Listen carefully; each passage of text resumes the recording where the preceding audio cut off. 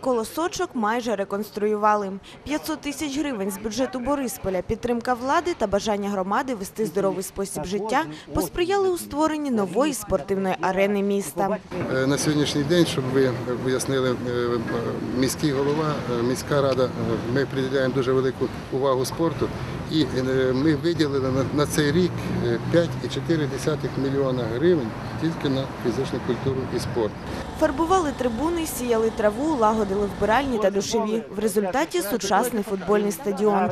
Подивитись на реконструйовану спортивну споруду та переконатися, що ініціативи президента щодо залучення населення до занять фізкультурою підтримуються в місті. 11 вересня до Борисполя завітав заступник голови КОДА Олександр Басай.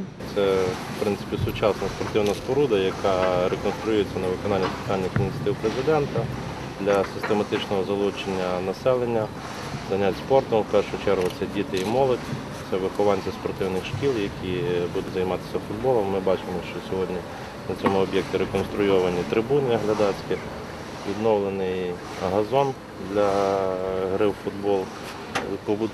Зроблені вбиральні, е, зроблені роздягальні, душові кабіни для того, щоб діти могли повноцінно позайматися спортом, нормально перевдягнутися, помитися і так далі. Роботи на стадії завершення. Залишилось збудувати шестиметровий паркан, що буде відокремлювати стадіон від жилої зони. Та з цим виникли труднощі. Каменем спотикання знову стало державне казначейство.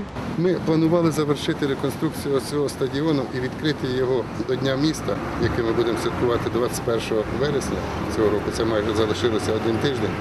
От. Але із-за того, що в нас не проходять платежі через державне казначейство, ми не змогли проплатити виготовлення паркану і завершення робіт по цьому стадіону. А повірте мені, що вже у борг вже ніхто працювати не хоче.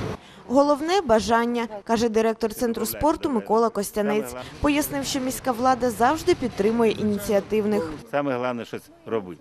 Тоді воно Ініціативу то, да, ініціативу. І тоді міська влада підтримує. Якщо, звісно, кошти виділяються, не роблять. Завдяки злагодженій роботі депутатського корпусу відбулося швидке оформлення державних актів на землю під усіма існуючими стадіонами міста, повідомила Людмила Пасенко. Це стало чудовим подарунком до Дня міста.